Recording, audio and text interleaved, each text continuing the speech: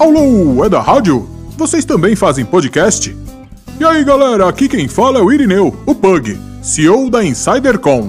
Hoje vamos falar sobre conteúdos em áudio. Você sabia que esse tipo de comunicação é rápida e fácil de ser consumida pelo seu público-alvo? Por esses motivos, são também os meios mais eficazes para promover sua marca entre seus clientes e engajar seus colaboradores. Acesse www.insidercom.com.br e saiba mais. Sua marca merece ser insider. Agora fique com uma de nossas produções, o Insidercast. Lambejos!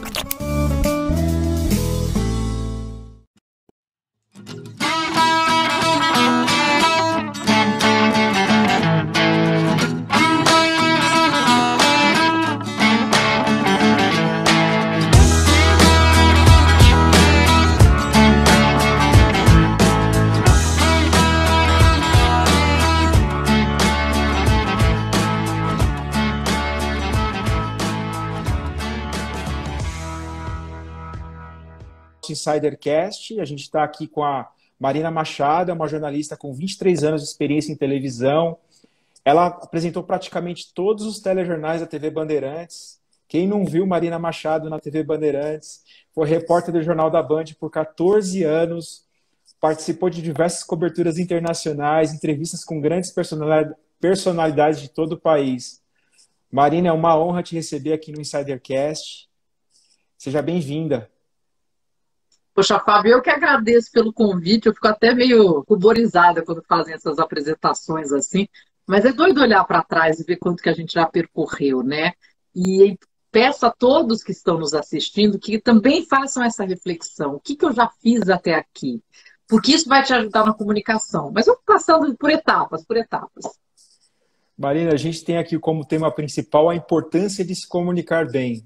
E o se comunicar bem foi teve até uma pesquisa recente do LinkedIn que apontou que é a habilidade mais valorizada pelos empregadores. Por que, que para você a comunicação é muito importante para o sucesso de qualquer profissional, independente se, se, é jornalista, se é um administrador de empresa? Por que, que é tão importante se comunicar bem hoje? Sempre foi, mas uh, se tomou conhecimento né, da importância, se deu valor a isso mais recentemente, até interessante pensar dessa forma. A comunicação é uma inteligência social. Então, você não só consegue passar a informação adequada. Então, assim, hoje eu tenho um bebê de um ano e três meses. Ele está preguiçosíssimo para falar. Aliás, um beijo para Sil, que acabou de entrar é, ele não fala, porque está preguiçoso, e ele aponta as coisas. Então, assim, a comunicação dele é limitada. Garanto para você que ele não consegue tudo que ele quer, não consegue na velocidade que ele quer, ele não passa, não exprime, não compartilha da forma adequada, e, portanto, fica mais difícil para ele receber e ter aquilo que ele quer da forma que ele quer na hora que ele quer. Mas além de ser uma, é, a comunicação ser usada para exprimir alguma informação, algum sentimento, ela também é uma forma de relacionamento. Porque quando você se comunica de forma agressiva, você está gerando e colocando ali no meio entre as pessoas a agressividade. E o que, que você vai receber de, de volta? Provavelmente agressividade também. É uma inteligência social. Então, quando você tem profissionais trabalhando na sua empresa que sabem se comunicar, o chefe que sabe falar com os funcionários, você tem uma relação mais amigável, mais produtiva, mais inteligente. Quando você tem uma pessoa agressiva, é, é, que, que, que, usa das palavras, e não é, não é, necessariamente gritar, Fábio, é aquela coisa de usar da posição, das palavras, é, para fazer uma pressão e deixar é, é, algo subjetivo no ar, enfim, que coloca a pessoa em dúvida ou em com medo. Tudo isso é uma, um mau uso da comunicação. E aí você vai gerando um ambiente bastante tóxico. Então, saber se comunicar não é só falar para as câmeras, não é só chegar aqui e ter uma boa conduta numa live, aprender a fazer um posicionamento e uma iluminação adequada para que a pessoa te enxergue de forma correta. Saber se comunicar é ser um ser humano melhor. Marina, e eu quero extrair o máximo do seu conhecimento aqui para quem está nos assistindo, aproveitar ao máximo a sua presença aqui, dos seus 23 anos de experiência. Queria que você falasse um pouco quais as dicas para se desenvolver como um profissional e se comunicar de forma efetiva, em qualquer situação. Quais as dicas de ouro que você poderia passar para a gente? Eu acho que a principal principal dica, antes de você comunicar, é ouvir. A gente precisa ouvir para saber o que a gente vai dizer. A gente precisa ter essa empatia. Então, quando eu sento para conversar com alguém, uh, eu preciso entender o que, que aquela pessoa está trazendo para mim. E antes de falar, eu preciso pensar. Naturalmente, o ser humano ele é muito reptiliano, né? Somos mamíferos, mas a gente vem agindo cada vez mais como répteis. Então, a pessoa fala, eu já. Eu nem ouvi direito e eu já estou pensando no que eu vou responder, e aí eu já, já, já programei alguma coisa na minha cabeça, eu já dou impacto e se aquilo vem de uma forma agressiva, ou vem com algo, uma pergunta, por exemplo, que eu não estava preparado para responder, a gente sai de um jeito. Você já perguntou para um segurança de prédio se você pode fazer um negócio que não estava no script? Ele fala não. Não. Porque, na prática, não, não sabe sair daquela situação. Então, a primeira coisa é ouvir. Dê tempo para você pensar. E aí você responda. É, comunicar não é sair falando para começo de conversa. Você precisa ter um entendimento interno para depois conseguir passar para frente. Agora é claro, né, Fábio, para você, se você consegue se preparar para se comunicar, faz toda a diferença. Então, se a gente é, é, vai para uma reunião, né, eu preciso estar par dos assuntos que vão ser tratados nessa reunião. Se eu chego lá e caio de paraquedas, a minha comunicação vai ser menos é, qualificada. Se eu vou para uma entrevista de emprego que seja, e eu não tenho noção do que aquela empresa faz, ou, e, e não, nunca pensei numa, numa, no porquê que eu vou agregar para aquela empresa, como é que eu vou me comunicar corretamente? Então você precisa estar preparado para aquele momento. Ah, eu vou ser entrevistado por um jornalista pânico para muitas pessoas. Pânico. É pior do que a professora chamar para chamar oral na frente da sala, que eu acho que é onde começa o pânico normalmente das pessoas, né? É aquela coisa que que falar na frente da classe e tudo mais. É, você, se você estiver preparado e entendendo que você foi chamado para essa entrevista porque você sabe daquele assunto, a gente foi muito bloqueio na nossa cabeça. Então, quem está vendo? E se eu errar? E se eu pagar mico? Tá, tudo isso no, de fato acontece? Não. Você sabe do assunto. Se eu perguntar o seu nome, o nome da sua mãe, que dia que você nasceu, você vai responder com tranquilidade. Por que, que se eu perguntar alguma coisa do seu trabalho, você entra em pânico? Você sabe fazer isso. E se prepare mais, respire e primeiro, e volto a dizer, estando preparado, ouça, pense, responda. Esse é o ciclo. Marina, você falou em medo. E você sabia que um dos maiores medos, a gente fez uma pesquisa aqui, o maior medo é o medo de morrer. O segundo maior medo é o medo de falar em público. E o terceiro medo, medo de perder o emprego. Como superar o medo de falar em público? Porque é comunicação pura. Como que a gente faz para superar esse segundo maior medo da humanidade?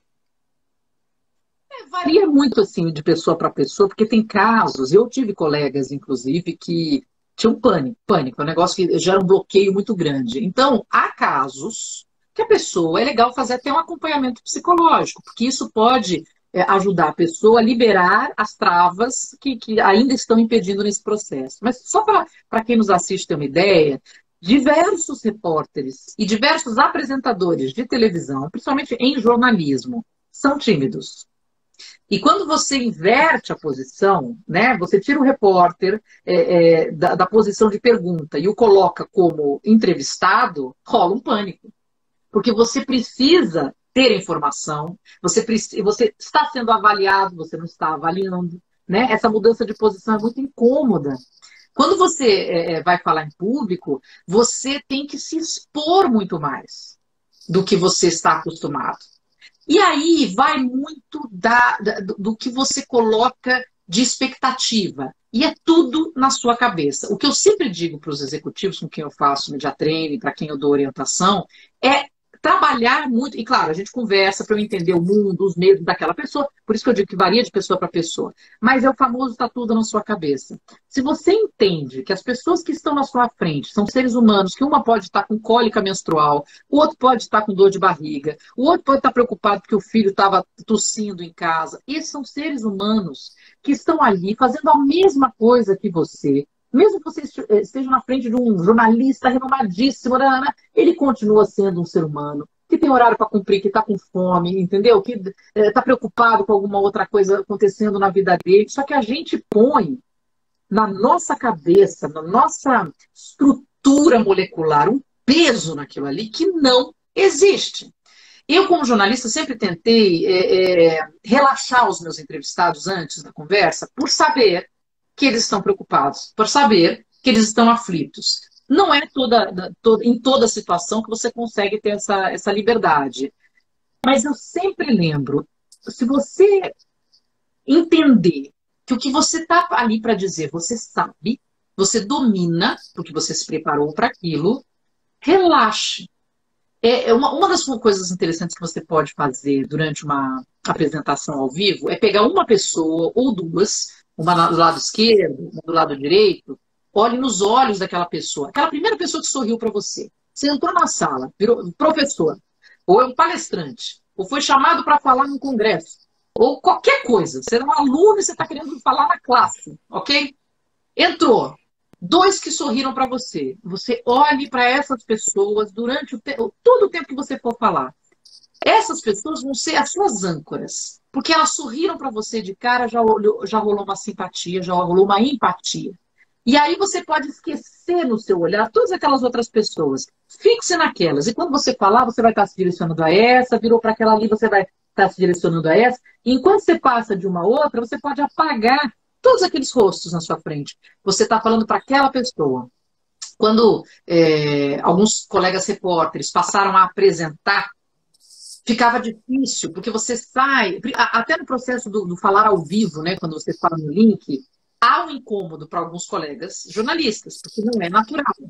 E uma coisa que eu sempre é, comentei é que você tem que lembrar de estar falando para sua mãe. Se você estiver falando aquilo que sai daqui para alguém que você gosta, como jornalista, dando exemplo, né? Passando a informação para sua mãe, você vai dizer com mais tranquilidade? Você vai dizer com mais explicação? Você vai usar as palavras doces e adequadas? Com certeza você vai. Então, se você vai se colocar em público, primeira lição: todos são seres humanos que estão, estão te assistindo. Segundo, ache duas âncoras para você, para você fixar esse olhar e se sentir mais seguro. Terceiro, Fale como se você estivesse falando para pessoas que você gosta muito. Porque assim você vai trazer o melhor que você pode dizer e com muito mais tranquilidade. Eu confesso, Fábio, que isso é o mais rapidinho que eu consigo dar de explicação. Mas é, esses três pontos eu acho que funcionam bem. Uma aula, Marina, contar com a sua presença aqui, com essas dicas valiosas. E por falar em, em medo, tenho medo também de gravar vídeo. Isso você pode dar uma dica como ninguém como superar o nervosismo? Porque quando liga aquele, aquele reczinho ali, aquela luzinha vermelha da câmera, muita gente trava. E como superar é, esse medo? É, é, o tal do eu estou sendo avaliado, né? Eu estou sendo avaliado e fica registrado. É, é engraçado como a nossa cabeça consegue complicar a nossa vida. É, a base é a mesma, né? O que, que você está colocando que não precisa estar ali em cena. O que está ali em cena? Um, um, equipamento eletrônico e duas luzes, ou uma luz. Eu tenho duas luzes aqui enormes, que eu pretendo trocar por um, por um ring light futuramente, tomo um trabalho aqui em casa, mas enfim. É, e você está pensando na avaliação das pessoas que vão ver, será que eu acertei, será que eu errei? Entende que está tudo na sua cabeça? Se você tem algo a dizer, agora, vamos por é um vídeo gravado, pô, se é gravado, edita. Se for gravado, se eu errar, eu paro e começo de novo. Mas as pessoas já geram um pânico só por estarem gravando. Vamos voltar. O que, que de fato está acontecendo? Eu tenho um equipamento, eu tenho uma, uma informação, eu preciso passar isso. Hoje a gente grava muito com selfie, e aí você está se vendo, então você fica se avaliando, mulheres, principalmente meu cabelo, a minha posição, a minha luz, aquela coisa toda. Você fica se olhando, então você vê se você está com uma cara boa, se você não está com uma cara boa, voltamos à crítica. É crítica, crítica, crítica, autocrítica o tempo todo. E o que você está fazendo é se sabotar. Vai no espelho, sua cara está boa, ligou a câmera, o negócio está funcionando, vamos pensar no processo selfie. Pensa, pense só na informação que você tem que passar para aquela pessoa que você gosta e você tem que passar com qualidade. Agora, se você está com uma câmera e você não está se vendo, aquela lentezinha é cruel, porque ela é muito intessuda. Né? Você não tem relação nenhuma com aquilo, é um buraquinho, aquela coisa toda. Pois bem, foque o máximo possível dentro da lente, mais profundo da lente que você conseguir olhar, para não ficar olhando em volta no equipamento. Parece um pouco hipnótico, Fábio, mas funciona. Quando você entra com o seu olho só na parte mais interna daquela lente, eu, pelo menos, sinto que você consegue apagar ao redor. E aí você fala para aquele buraquinho minúsculo, que pode ser a sua mãe, a sua namorada, os seus filhos e tudo mais. Eu estou falando para alguém que está lá, lá, lá, lá, lá, lá, lá no fim daquela lente. E a gente consegue apagar um pouquinho do, do desse pânico. Está na sua cabeça. Respire, foque e fale. É o famoso síndrome do impostor que a gente comentou Totalmente. recentemente agora no Insidercast. É uma é, Se você, eu fiz teatro quando, quando mais jovem, e uma das coisas que a professora, que era uma professora top, inclusive, dava aula na EAD, ela falava, nunca ensaie na frente do espelho. Nunca ensaie na frente do espelho. Porque quando, quando você está atuando, você precisa trazer os sentimentos de dentro, você precisa se entregar. Se você está na frente do espelho, você está se avaliando. Como é que você se entrega se avaliando? Você não faz isso. Então, eu acho que esse trabalho até de, de, de teatro me permitiu muito ser mais solta. Porque eu literalmente desencano, se vocês me, per me permitem essa palavra. É isso que eu preciso fazer, é essa informação que eu tenho para dar. Vamos lá. E mais, lembra-se de Ricardo Boechat? Sim, grande jornalista. O Echat fez um favor para todos nós, porque ele veio tirando muitas travas né, na apresentação jornalística e no comportamento jornalístico. Se tinha erro, ok, errei, desculpa, perdão, vamos lá. Se caía um negócio do lado dele, não fazia de conta que não caía, porque você tinha que parecer um robô e aquilo ali. Gente, caiu, vamos lá, vida que segue. Eu sou um ser humano, você é um ser humano, você entende o que está acontecendo. Então, pô, uma vez, foi maravilhoso isso. A gente estava transmitindo a Copa do Mundo e eu não lembro quem era o repórter, eu acho que era do Rio de Janeiro. E ele estava num link. Né? Então ele estava falando de, de, de, dentro de uma padaria que estava transmitindo um jogo de futebol. E enquanto ele falava, mais ou menos aqui nessa altura, apareceu um cara que abaixou a calça e mostrou a bunda. Nossa. Aí o cinegrafista. maravilhoso. Aí o cinegrafista, muito gentilmente, mudou um pouquinho o, o, o, ângulo da câmera e deixou o repórter aqui, tanto que o cara com a bunda aqui sumiu. Voltou para o Boechat e, na verdade, era a vez da, da apresentadora que estava do lado dele falar, e ela começou a me falar, e ele falou, não, pera, pera, não vamos fazer de conta que a gente não viu. Todo mundo viu que o cara tirou a calça ali e mostrou a bunda, certo? É. Mas tá bom, ele segue. Porque senão, é, eu achei maravilhoso aqui, fica aparecendo que nada é intocável, que erros não acontecem, que coisas inesperadas não acontecem. Isso não existe, gente. Então, assuma, se acontecer um erro, se você esquecer, se você gaguejar, se gaguejou, você esqueceu. Pronto, gente, esqueci. Como é é aquela palavra mesmo? Ah, é? Pois bem, vamos lá. Ah, é, vamos lá. Ai, desculpa, posso pausar? Vamos, vamos começar de novo? Tudo bem, tá bom? Calma. Vamos lá, é isso. Maravilha, Marina. E você fala muito da questão da comunicação, que ela tem começo, meio e fim. Que as, as, todo o processo precisa ser pensado, processado, para depois ser colocado para fora e verbalizado. Como ter uma comunicação estratégica, estruturada, porque quando você atinge a mente, o coração das pessoas, é muito mais fácil você influenciar, você vender, você ser, construir a sua marca pessoal. Conta pra gente um pouquinho dessas dicas de, de processamento das informações para elas serem verbalizadas de uma forma mais estratégica. Eu volto naquela questão do, do começar ouvindo né? E, e, quando eu falo ouvindo, se é uma conversa, é claro que você está ouvindo. Mas muitas vezes é percebendo. Percebendo o ambiente onde você está, o cenário onde aquela pessoa está envolvida. Você não vai se comunicar com seus filhos da mesma forma que você fala com o gerente do banco. A comunicação muda, a forma de falar, o tom da sua voz, a sua narrativa. Então, quando você vai preparar uma apresentação, por exemplo, para falar em público, para qual público você vai falar? Você vai ter que usar termos mais fáceis, você vai usar termos mais difíceis, você vai ser mais técnico, você não vai ser mais técnico. Não adianta você preparar uma palestra. Pronto, preparei minha palestra. Só que agora eu vou fazer essa palestra sobre é, finanças pessoais para cozinheiras da comunidade de Paranauê e vou fazer essas finanças pessoais para contadores. Você entendeu a diferença? Então, primeiro tem que entender para quem eu estou falando.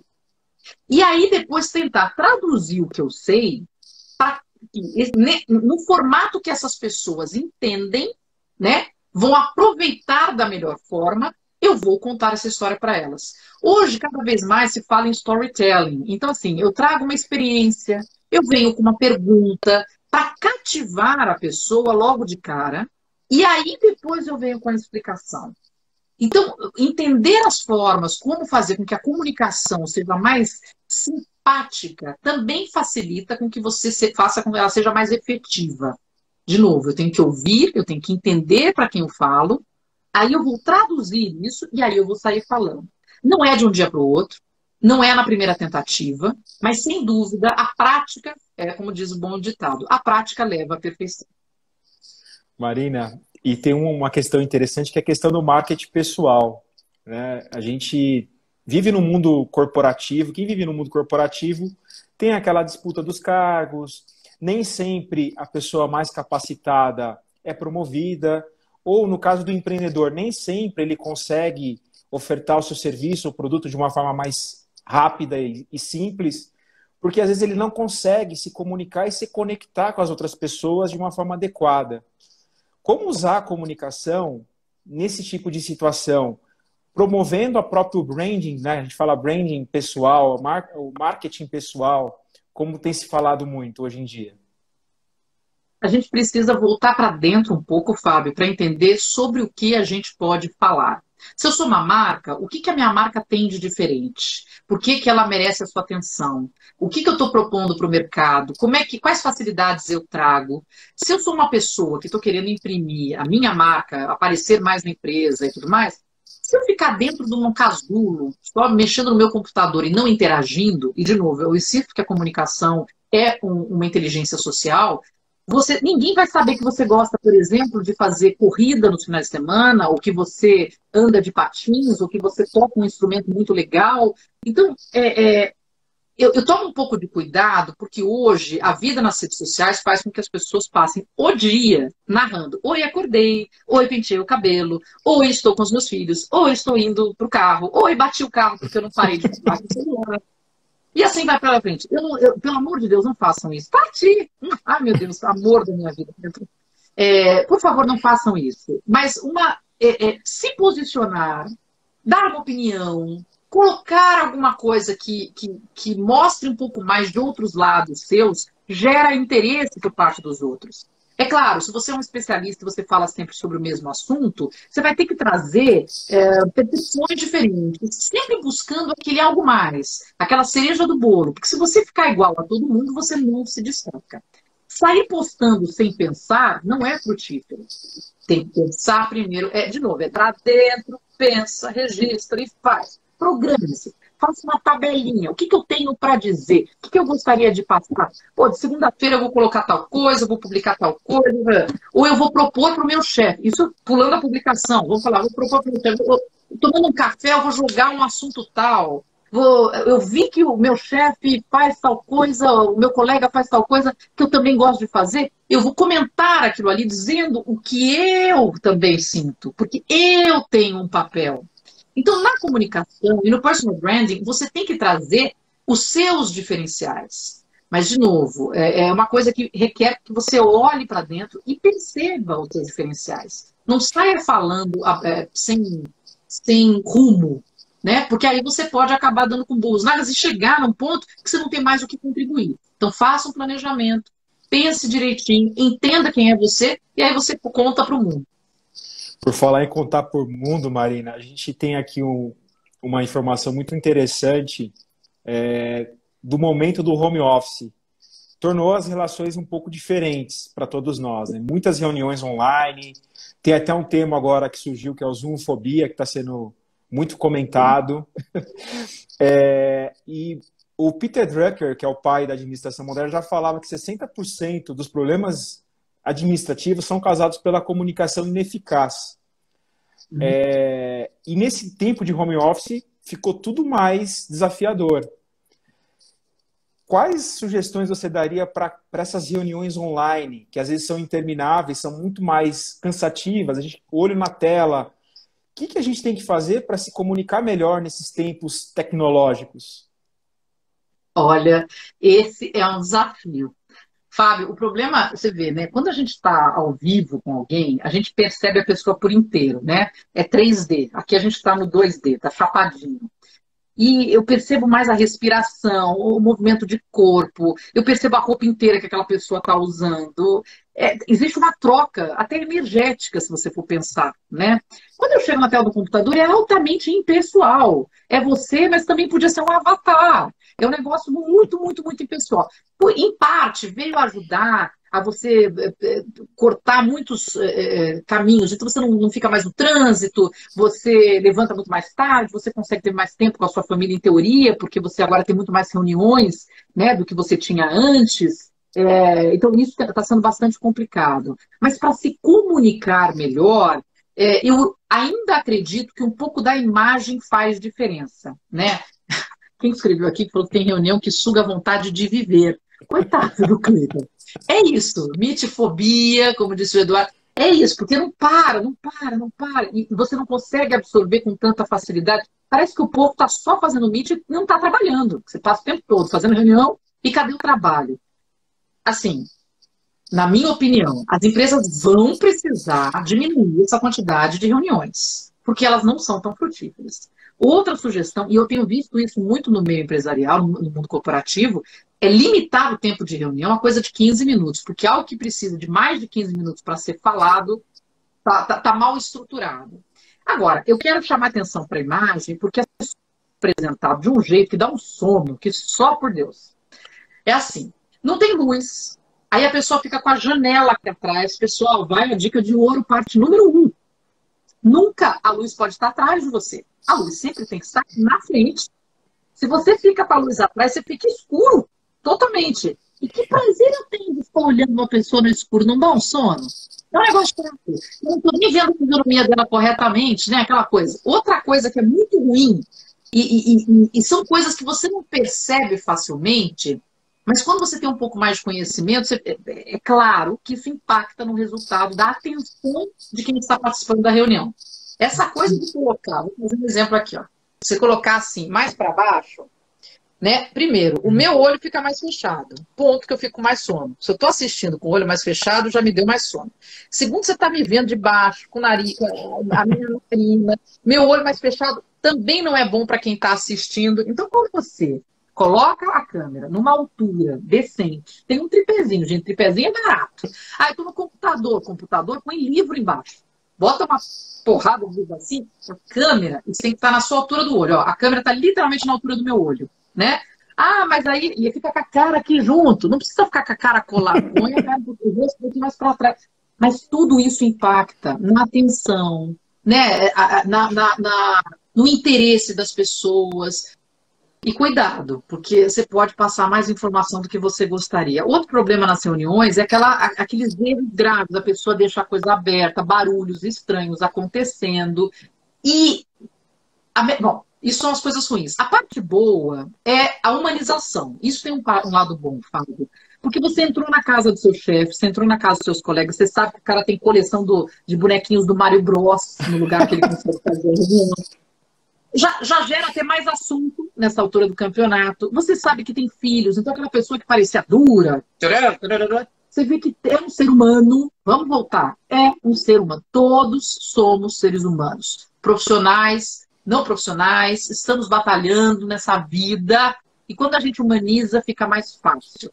Agora, é, eu acho que assim, o grande lance nessas conferências é a empresa reduzir a quantidade de horas que se passa na tela do computador fazendo reunião e as pessoas facilitarem montando um setzinho. Seja bem-vindo ao mundo da comunicação é, visual, porque é isso, de uma hora para outra as pessoas tiveram que começar a fazer isso, mas com qualidade, porque está muito ruim. Você vê o que as pessoas se põem no ar, aquele cabelo todo, aquela roupa caindo aos pedaços. Gente, dá uma, né? Cuida um pouquinho que é, fica mais prazeroso participar da reunião com as pessoas. Marina, com certeza você deve ter sofrido menos que nós mortais, pela sua experiência em frente às câmeras. Se você visse o tamanho das luzes que eu tenho aqui, é porque eu, eu, antes precisava iluminar o fundo. Hoje eu não preciso tanto iluminar mais o fundo, eu posso fazer uma coisa mais próxima, vou comprar o tal do ring light. Mas é uma estrutura, porque jamais eu posso abrir câmera sem estar com o negócio arrumado. Ah, aliás, arrumado não é o que está aqui atrás, tá? Isso faltou arrumar. Marina, é, um ponto importantíssimo para a gente colocar aqui também para discussão é a linguagem não verbal. E isso vale tanto para quem está no online quanto para quem está no presencial. O quanto influencia a linguagem que o corpo transmite numa comunicação? comunicação é tudo, né? Comunicação é o que você está dizendo, é o que você está fazendo enquanto você está dizendo, é como você se apresenta. Se eu vou uh, para uma reunião e eu suo muito e a minha roupa transpira e mostra aquela pizza aqui embaixo, ficou imediato, imediatamente claro que eu estou nervoso, nervosa, né? Deixa eu só comentar para o Cleiton que sim, eu estou usando dois softbox. Vendendo, inclusive, viu, Cleiton? Tô vendendo. É, mas voltando. Se eu vou com uma. Se eu, se eu me apresento e fico uh, com os braços cruzados, né? Que imagem que eu estou passando para você? Eu estou interessada? Não passo um interesse. Se eu me importo com mais para frente, com essa posição de proposta, não sei o que lá, eu estou muito mais interessada. Eu mostro para você que eu estou fazendo isso, né?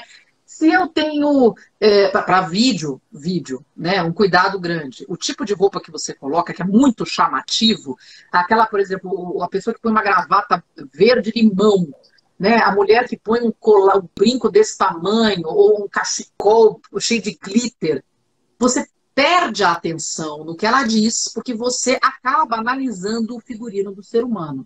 Ah, mas isso não é ideal, a pessoa pode usar o que ela quiser? Pode, mas esse impacto é natural. O ser humano faz essa crítica mental, então isso impacta sim. Quando você está travado, tenso, ombro para cima, é, mãozinhas presas, não se mexe, fala tudo pesado, o que você está mostrando para mim? Uma tensão, uma insegurança. Você quer passar insegurança? É isso que você quer naquele momento? Não é. Então, para você tem que relaxar, os ombros para trás, esticar os braços. Eu sempre indico que antes do início de qualquer reunião, qualquer reunião, você respire três vezes profundamente.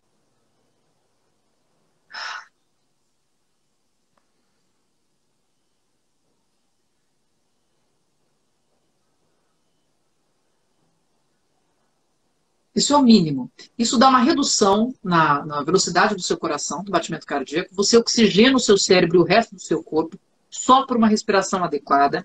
E se você colocar os seus braços ao lado do seu corpo de forma esticada, enquanto você faz isso, toda a circulação melhora. Você entra mais leve.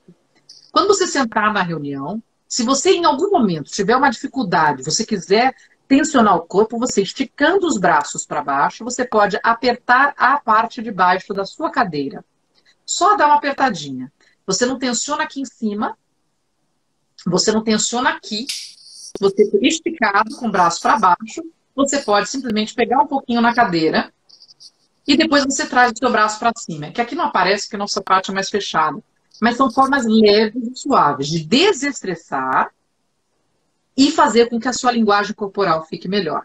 Outra coisa que também não é boa, que é o contrário do tenso, eu tô super relaxado. Aí eu jogo aqui para trás, aquela coisa assim, até o braço fechado, mas assim, aquela coisa jogada para trás. Isso mostra, passa uma linguagem folgada. Também não queremos uma pessoa folgada, né? Eu quero uma pessoa assertiva, segura de si, que é isso que está se esperando quando eu vou entrevistar, ou quando a pessoa vai dizer alguma coisa de útil. Então, esta posição, ombro para trás, braço aqui, isso funciona muito bem. E câmera fechada nem pensar, né, Marina, na reunião? Ah, pelo amor de Deus, né?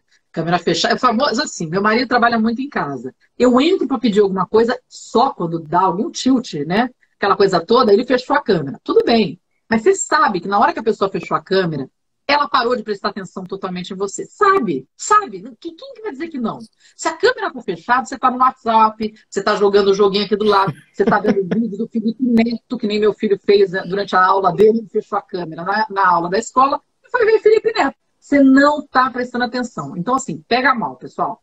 Não tem condição, vai ter que ficar com a câmera aberta. A não ser que seja liberado. Olha, agora é áudio. Não queremos, não precisamos ficar um olhando para a cara do outro. Vamos ficar só no áudio, mas que seja uma coisa acordada.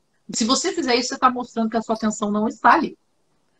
Marina, aproveitando agora a sua experiência em vendo os entrevistados, o lado do entrevistado, o executivo, o empresário, o político que você já entrevistou, o que, que você considera fundamental para uma pessoa, um empreendedor, um executivo, um profissional que vai conceder uma entrevista, que vai ter um contato com a imprensa ou com o influenciador? Qual, qual a postura que ele tem que ter durante o processo da entrevista? É duro, porque isso é um curso inteiro, Fábio. Porque assim, você tem que. É, não, porque assim, são tipos de entrevista. Então, um empreendedor foi chamado para falar do sucesso que ele está tendo ou da, da saída que ele encontrou nessa quarentena para driblar uma situação financeira.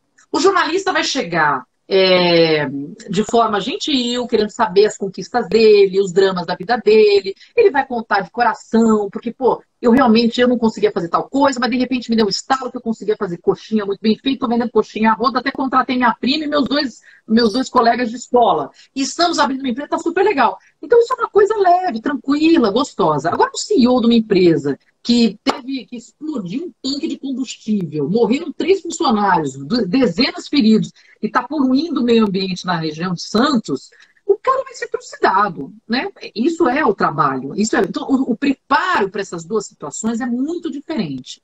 Agora, eu vou voltar para o, o princípio. Você tem uma informação e você tem que passar essa informação. Ok. Então, na hora de falar com o jornalista, foque na informação e na mensagem que você tem para passar. Se eu sou um CEO que explodiu o tanque de combustível, qual é a informação que eu tenho que passar? Por mais que me perguntem, quem é o responsável? Quando foi a última vez que o bombeiro veio aqui para fazer uma avaliação do não sei o que? O que vocês estão fazendo no meio ambiente?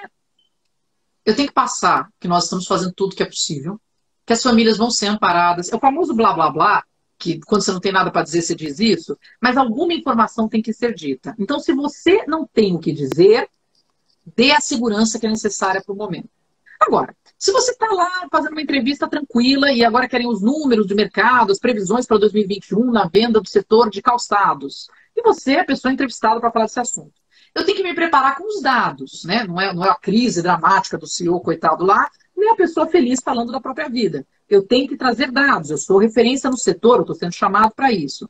Para conversar com esse jornalista, você tem que estar preparado com informações. Um, um, informação nova. Você não vai pegar dados de 2017, vai pegar dados de 2020, que é o último que foi avaliado, ou a projeção para 2021. Portanto, você tem que ter esses dados à mão. A mão é uma colinha no papel? Só se você precisar. Porque, assim, uma coisa é ter um papelzinho à mão para dar uma olhada antes da entrevista, a outra é ficar lendo durante a entrevista. Acabou a credibilidade. Você tem que ter essa informação. Tem que estar ali na sua cabeça. Quando você for passar as informações, não faça críticas a outros setores. Se atenha à mensagem que você tem para dizer. E assim, até, até pulei uma etapa importante. Você tem que saber para quem você está falando, que eu já disse isso, mas no caso do jornalista é para qual jornal. É para um programa onde eu vou ser entrevistado e eu vou ter uma hora de bate-papo? Então eu vou ter tempo para caramba para falar? Ok, vou ter tempo para caramba para falar. É para o jornal da Band, que é um jornal nacional, que cada matéria está tendo um minuto e meio. Se a matéria inteira tem um minuto e meio, quanto tempo eu tenho para falar como entrevistado? É pouco para caramba. Se eu ficar falando um monte de coisa, o jornalista vai sacar qualquer coisa lá que ele conseguir de melhor. Então, se você tem uma mensagem para passar, é isso. Este ano vamos crescer 32%. Ponto. Marque isso. O setor está crescendo 32% este ano, a, a, a, expectativa é de aumento de empregos e tal. Pum. Se o jornalista com outra pergunta, ok, você vai ganhando tempo nessa história, mas seja curto e seja claro. Tempo é tudo, porque se você se enrola no tempo, você está dando para o jornalista a escolha de colocar o que ele quiser.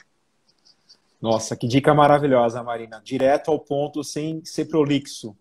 E por falar em, dica, a gente tem visto um crescimento gigante dos influenciadores. A gente tem aí, hoje, o poder da mídia tradicional meio que vem perdendo força com o passar dos anos, né? com o poder da, da internet, YouTube, das redes sociais. Na sua opinião, qual que é o segredo do, dos influenciadores, deles conseguirem tamanha audiência nos dias de hoje? Não é só tecnologia, é comunicação?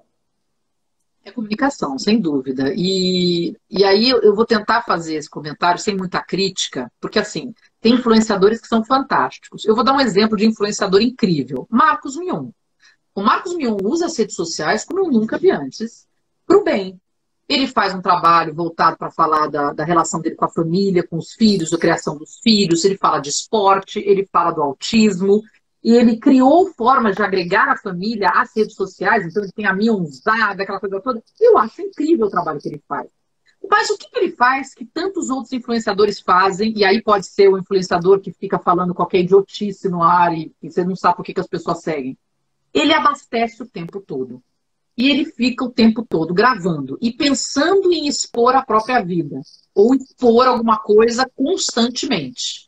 Então, assim, o segredo que eu percebo, porque eu também estou navegando em novas águas nesse sentido, não sou uma influenciadora com 300 mil seguidores, a, estou com meros 26 mil, estou caminhando, mas é um processo que você exige que essa pessoa esteja constantemente abastecendo o público. E o público quer ver o que há de mais secreto, quer ver o que há de mais curioso.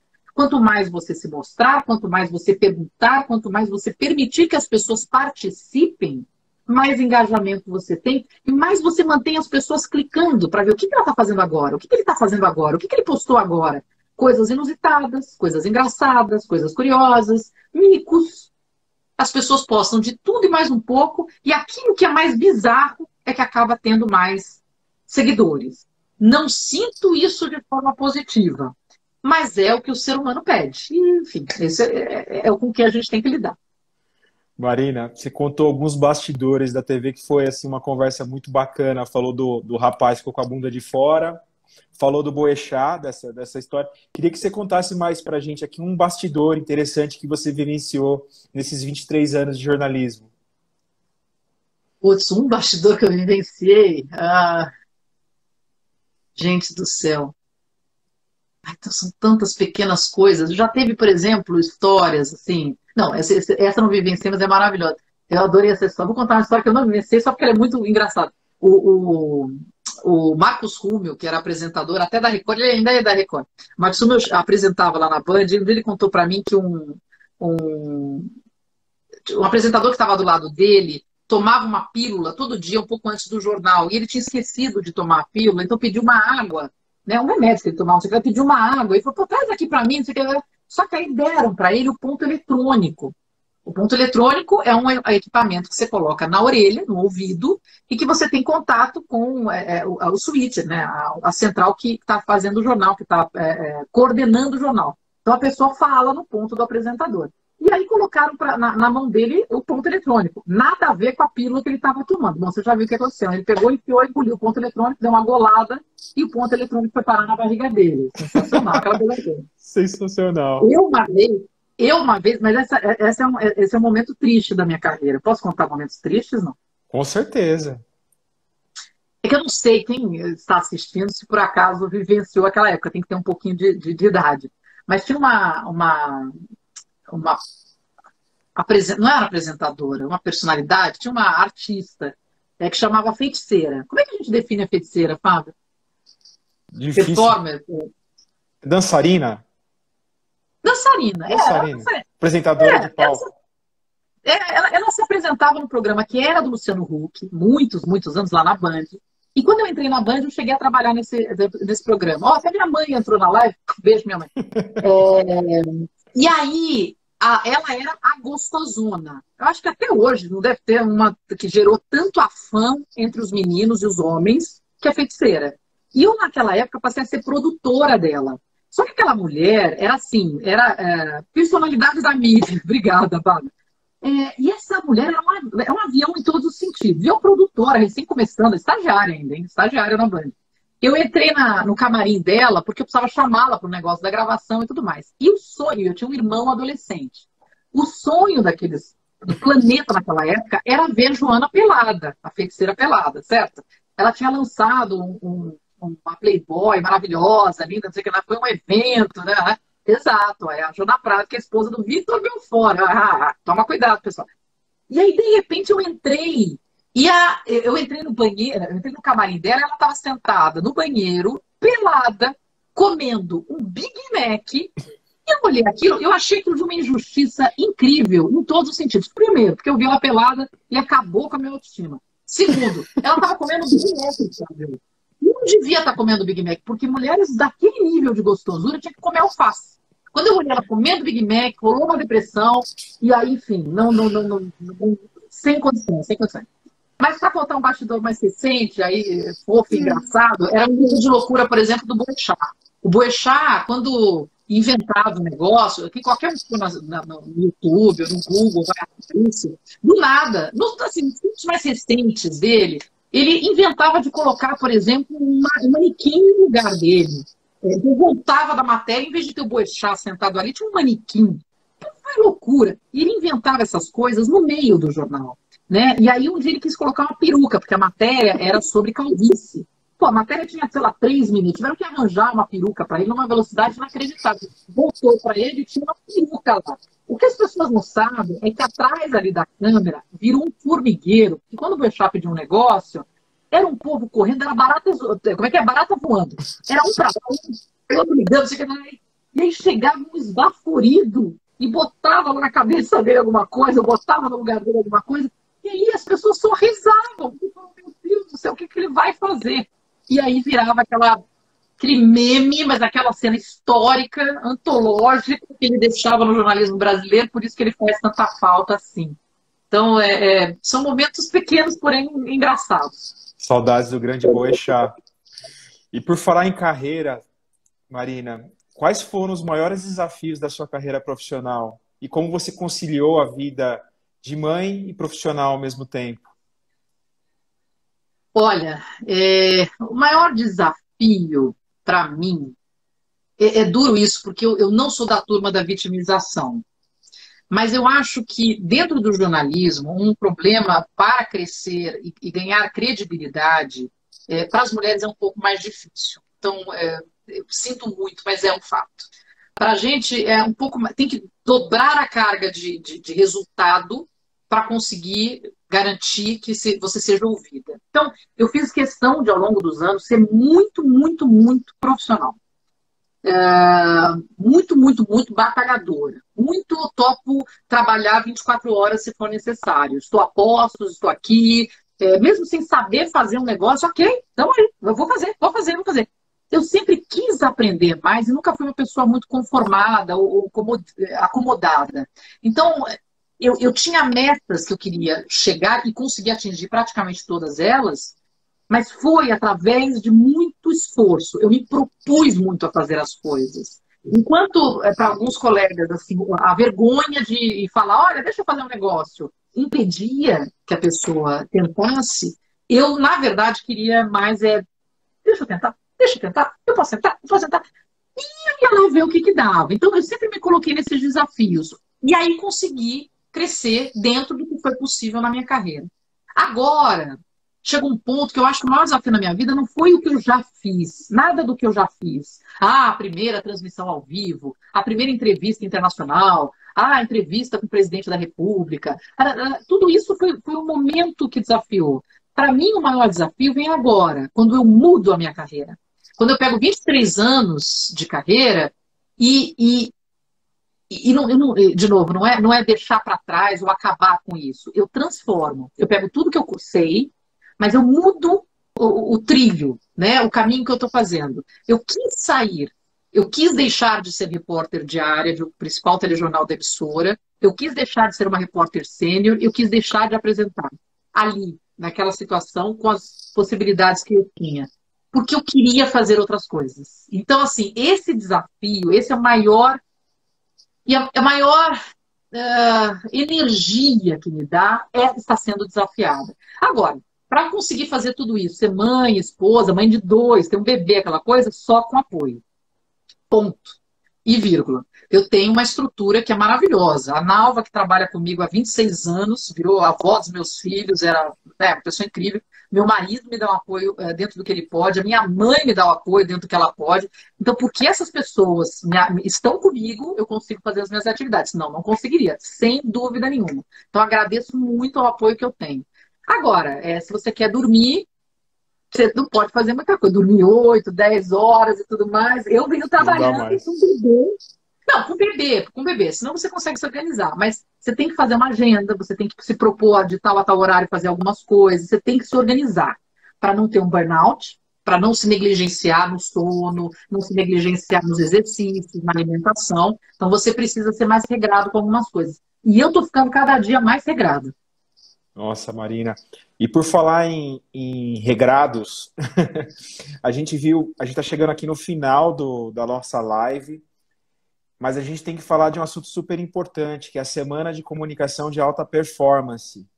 Acompanhei lá, já tem alguns, já tem alguns cursos gratuitos na plataforma, lá no seu site. conta pra gente como que surgiu a ideia de criar esse curso essa semana e o que, que tem que tá vindo por aí pela frente, seus projetos.